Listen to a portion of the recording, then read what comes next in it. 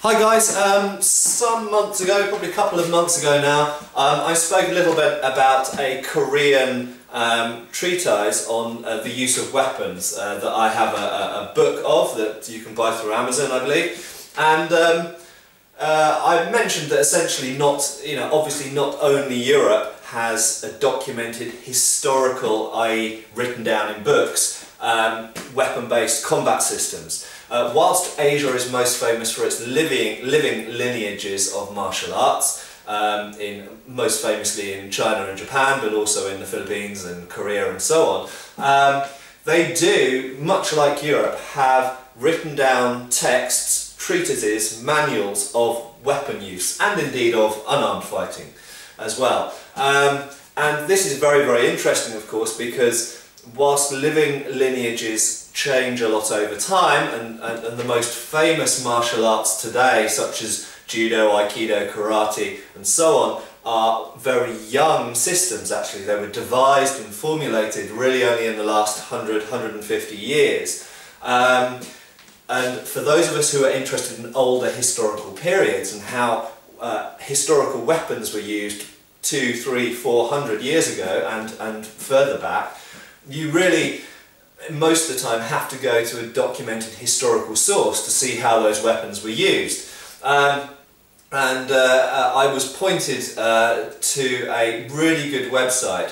Um, I, I, believe it's run by a guy called Jack Chen and what I'll do is um, underneath this video I'll put a link to his YouTube channel um, and what he's doing um, is essentially looking at uh, Chinese principally I believe, Chinese treatises of weapon use. And it, there's some absolutely fascinating stuff in there, uh, looking at the uh, Dao or Dao, uh, um, which is a, a, saber essentially, or falchion-like weapon, um, the, uh, the, the long Dao, uh, the use of um, the spear, or the Dao against the spear, the, the um, sort of two-handed uh, big choppy version that they had in the 1930s um, and used against the Japanese. Uh, and there are, there are uh, techniques of use of that um, Dao, Da Dao I think it's called, uh, against the bayonet for example. Um, so really, really interesting stuff and, and you know, brilliantly historically documented.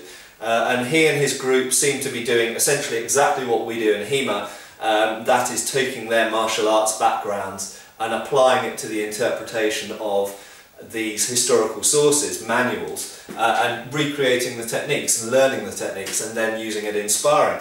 And um, yeah, great stuff. And it's great to see that um, more of these, um, you know, these sources in China are being um, discovered and, you know, interpreted and people are actually working on them.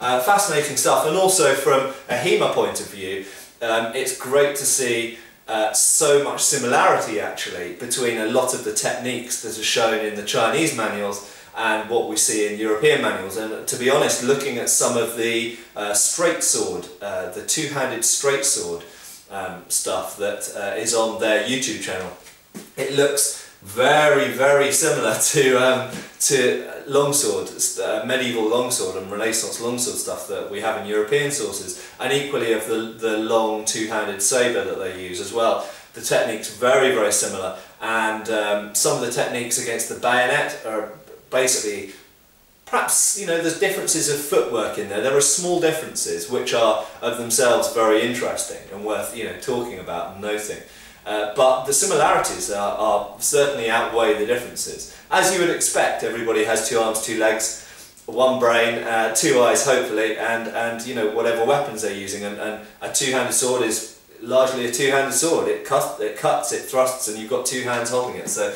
of course there's going to be lots of similarities. Anyway, so um, go and watch his videos. They're really cool. Um, and uh, I hope that in the future I might get to talk to him and find out some more about traditional Chinese martial arts and how the, their historical sources are being recreated and brought back. Um, and uh, yeah, go and have a look at his videos and he's got a website as well and I believe you can even buy copies of the uh, treatises, the Chinese treatises with I think translation in, uh, into English. So there we go, thank you.